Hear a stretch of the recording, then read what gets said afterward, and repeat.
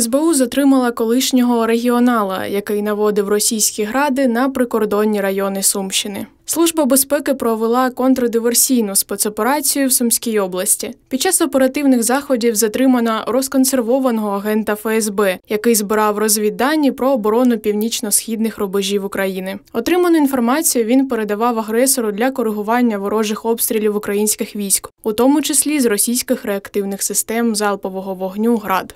За даними слідства, фігурантом виявився мешканець обласного центру, колишній місцевий функціонер забороненої партії регіонів.